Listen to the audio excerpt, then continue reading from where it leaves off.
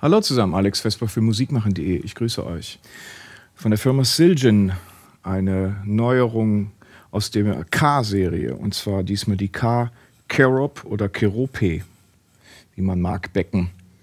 Ähm, man ist nochmal ins Archiv gegangen und hat äh, sich die Schätze aus den 40er, 60er, 80er Jahren rausgesucht und äh, mal geschaut, wie man das in, das in die Neuzeit transportieren kann, das Wissen. Das sind die K-Kerop-Becken und die schauen wir uns an.